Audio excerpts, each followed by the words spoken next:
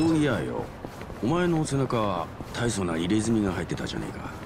ありゃ竜か。いやあれは竜じゃねえ。竜魚だ竜魚？ああ本当は竜を掘りたかったんだけどよ。え？なんで竜を掘らなかったんだよ？竜ってのはうちらの世界じゃ一流の極道の象徴みたいなもんなんだ俺みたいなペーペーが軽々しく背負えるようなもんじゃねえんだよへえ。そういうもんなのか。まあでも竜魚ってのもなかなかかっこいいじゃねえか。だろう？俺も気に入ってんだ。いつかすげえ男になってよ。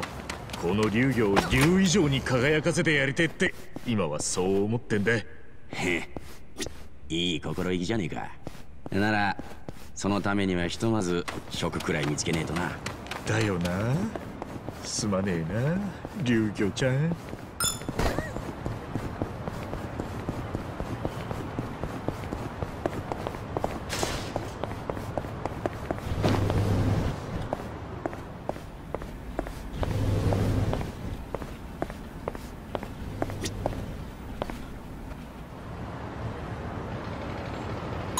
ゲーセン寄ってかねえか。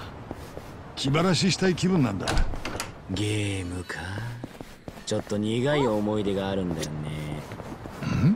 ルールに厳しい家だったからゲームは1日1時間を守らないといけなくて1分でも超えるとゲーム機ごと清流島で真っ二つっささすがハンピン・リューマンの家庭だ。ゲーム禁止にされちゃったんだけどやっぱり遊びたいじゃない？だから見つからないようにこっそり隠れて遊んでいたんだけどビジュアルメモリの電池が切れてピーってなってしまって。ドリームキャストをやってたのか。あれが人生最大の修羅場だったよ。かなり鍛えられた。で何の話だっけ？いや何でもない。先を急ごうぜ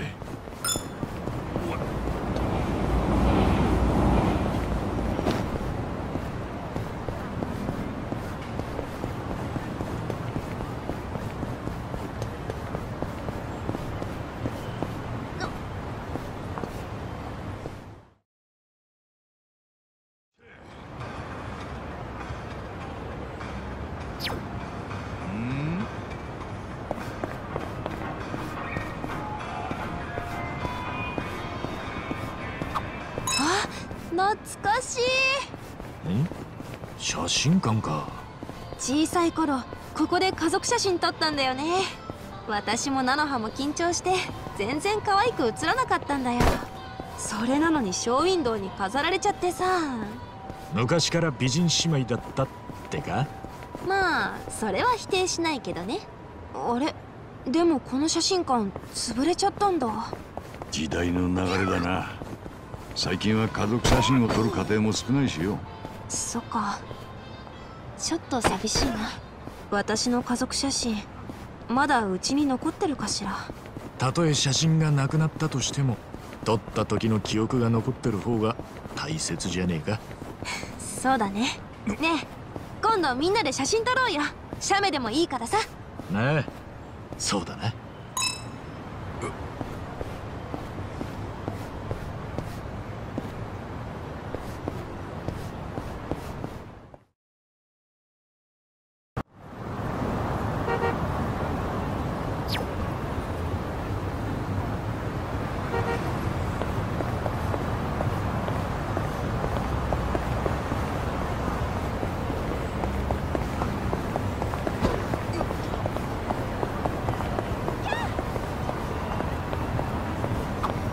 この店じゃ恐竜の肉のハンバーガーでも出してんのか？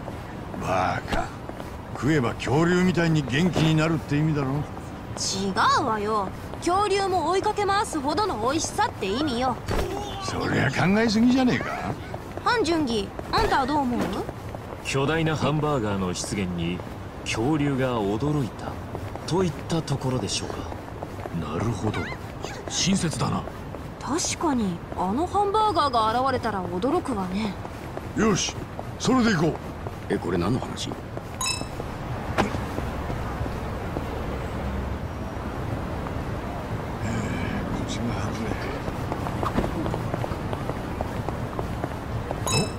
昔ながらの床屋だここういう店ならパンチパーマもできるかもしれねえなパンチパーマなんてしたいのおうパンチは俺のポリシーでな。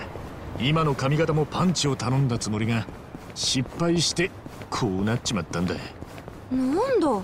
てっきりおしゃれでその髪型にしてるかと思った。これおしゃれか？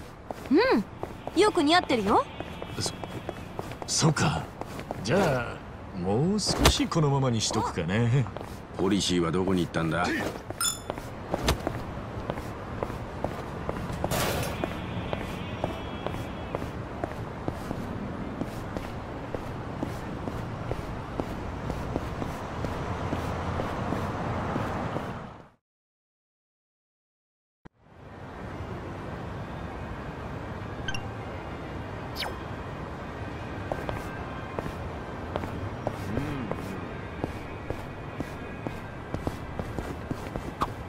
風車って発電してんのか？ええ。他にもソーラーパネルで太陽光発電も行っています。なんだよ。ちゃんと自家発電してんなら東電する必要ねえだろ。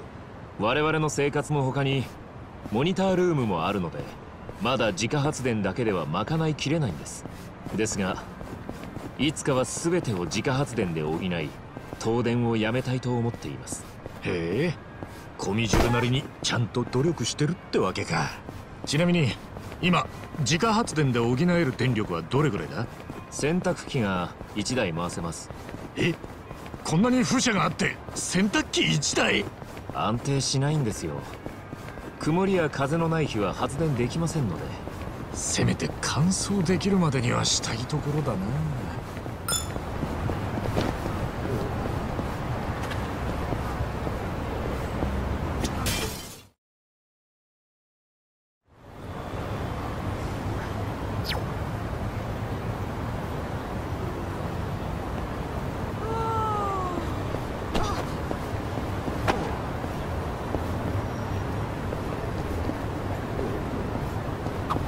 うわこの顔っていつ見ても不気味よね。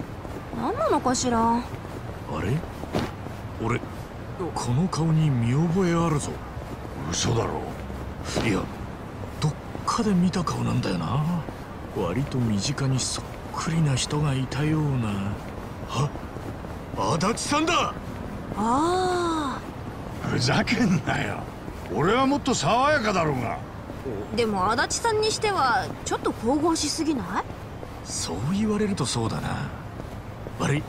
足立さんじゃなかったわ。切れていいか。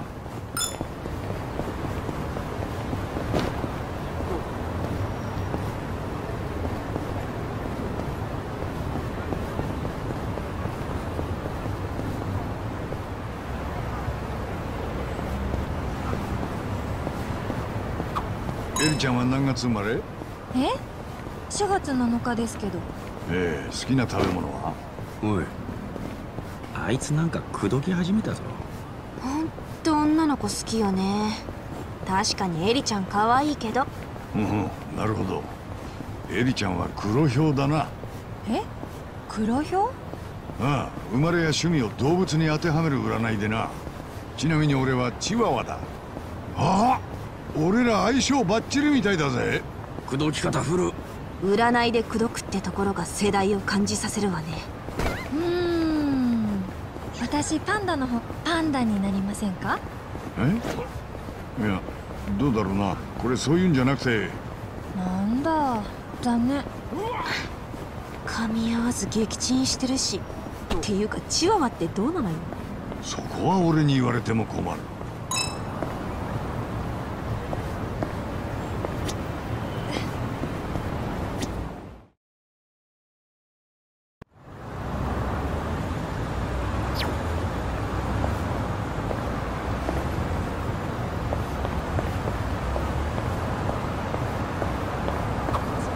いいニュースと悪いニュースがあるえなんか始まって言われたらどっちから聞く？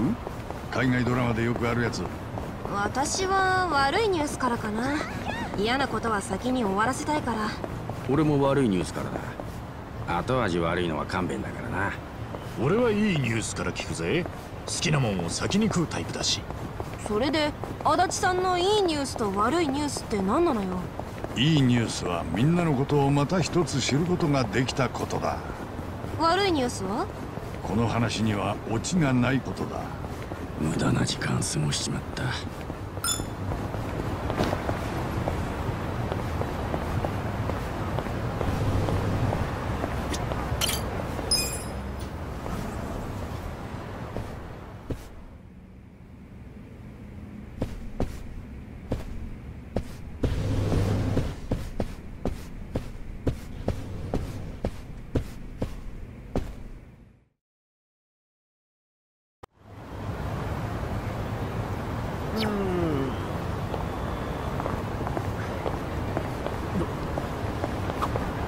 最近流行ってるらしいよ。日めくりカレンダー。アイドルが毎日一言応援してくれるみたいな内容が人気でファンが買ってるんだって。めくるのが楽しいっていいよね。へえめくる楽しさかなあ秒めくりカレンダーってどうかな？は？毎日1枚めくる程度で楽しいとすりゃ毎秒めくったらかなり楽しいんじゃねえか？これはビジネスの予感がするぞだが秒めくりにしたらずれた時どう修正するんだ？そりゃ2枚抜きしかねえだろ3秒ずれたら3枚抜きだ。うん。抜かされたアイドルがちょっと気の毒だな。ああ確かに。そうか。ダメか。秒めくりカレンダーその結果には賛成するけど他にもっとダメポイントがあると思う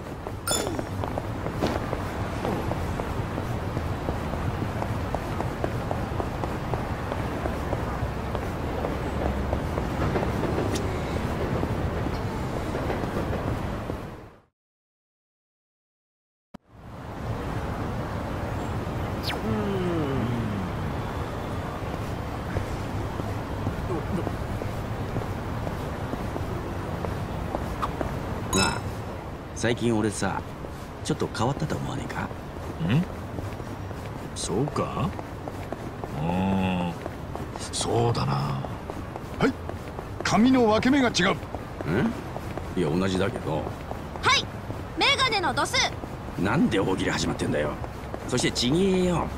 はい。メガネのフレームを変えましたね。はい。メガネをやめてコンタクトにした。メガネから離れろよ。つかどう見てもコンタクトじゃねえだろ。え？えじゃあどこが変わったんだ。もういいよ。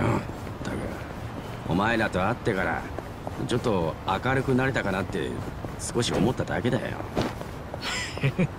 そんなのとっくに知ってたさなんちゃん前よりも笑うようになったしね。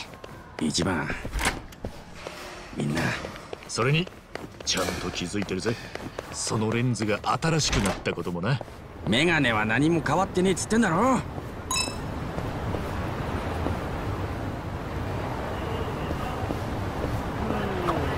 何ここ？超景色いいじゃん。あった。俺の秘密の場所がバレちゃったな蝶のお気に入りの場所なのか考え事をしたい時は一人でよくここに来るんだよ。確かに。ここからなら景色も綺麗だしいいな。ただたまにネットの穴からボールが飛んでくることがあってね。え？ホームランボールが当たることがあるから気をつけないと。ゆっくり考え事なんてできないわ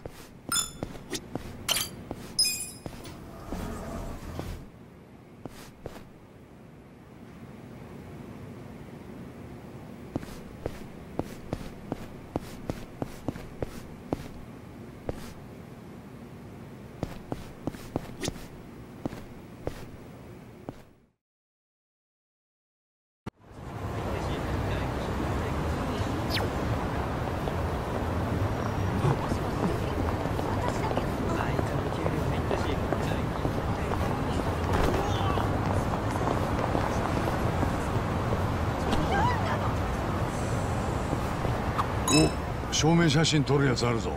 私あれ苦手なのよね。なんかブスに映らない？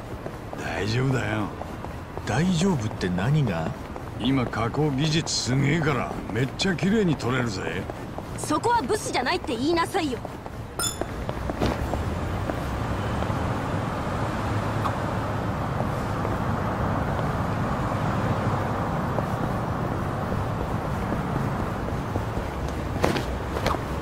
春日君資格学校に通ってるんだって？ああまさかこの年になって資格取るとは思わなかったがな。受かると結構嬉しいもんだぜ。へえ。何か俺にも取れそうなものあるかな？資格って何も持ってないんだよね。調理師とかどうだい？料理うまいし。うーん。なんかもっとこうしっくりくるようなのがいいな。暗殺検定とかない？それなら私も取りたいですね。小手調べに準2級くらいな。らそんな物騒な検定ねえよ。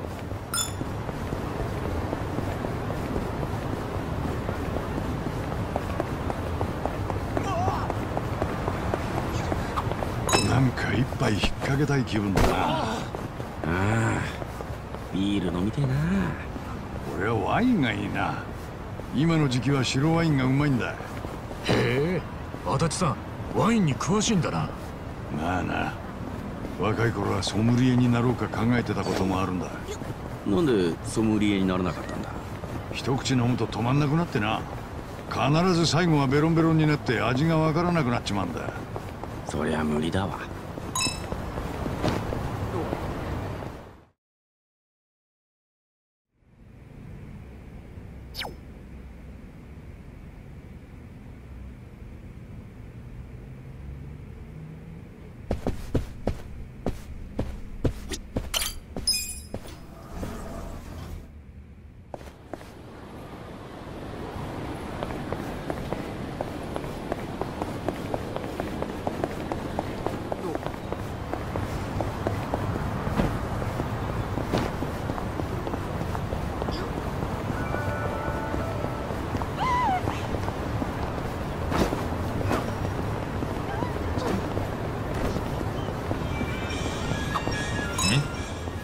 このステッカー貼り間違えてんぞ「ふ」って字が上下逆さまになってる。違うよこれは。東福といってね。わざと逆さまにすることで運気を呼び込む中国の習慣だよ。へえ。わざと逆さまにしてんのか。初めて見たぜ。東福は結構有名だと思うけど。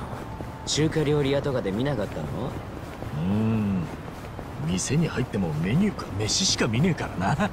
なるほど。よくわかったよ。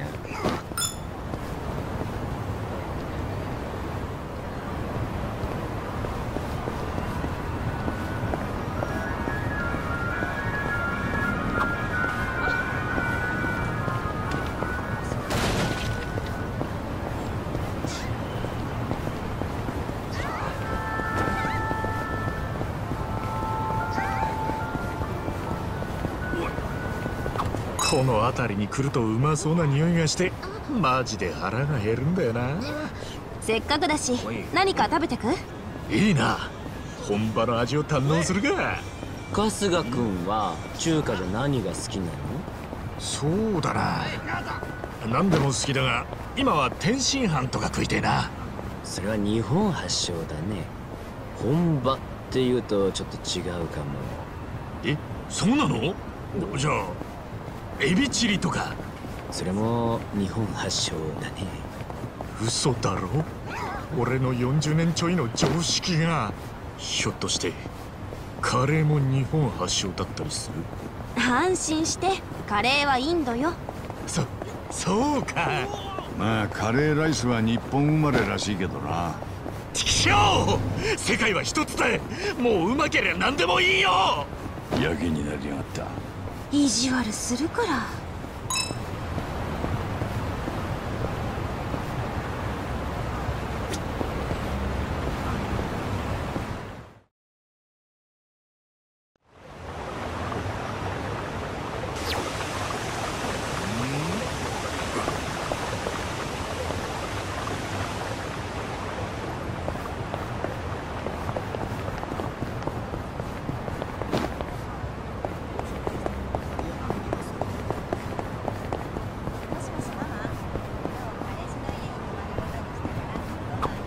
ちょっとなんてとこに連れてくんのよ。おおそれもそうだな。すまん。すぐ出る。でも中ってこうなってるんだ。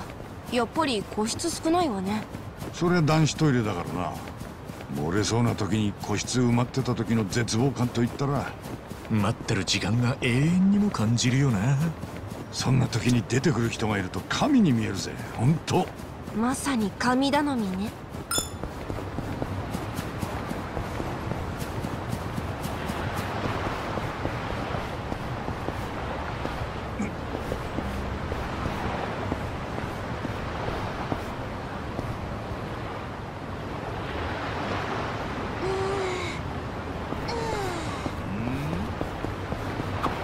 なんか海見てると魚食いたくなってくるな。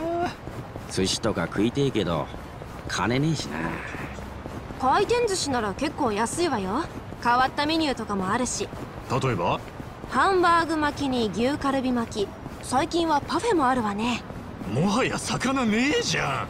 つか俺が無所行ってる間に日本の寿司はどうなっちまったんだ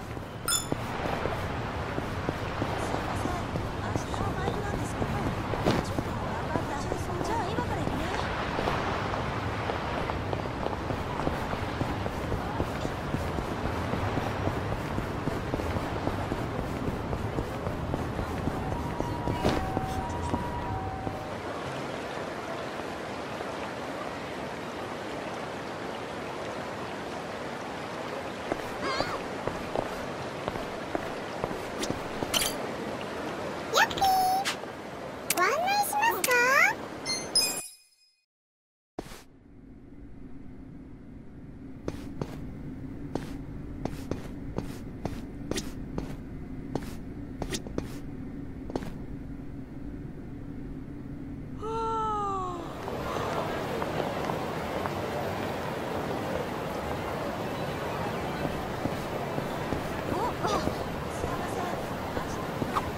昔の荒川組はここに事務所があったんだ。小さかったけどいい事務所だったな。あ一番からしたら家みたいなもんだったのね。あみんなもたまには実家に帰ってやれよ。亡くなったら二度と帰れねえんだからな。あんたが言うと重みがあるわね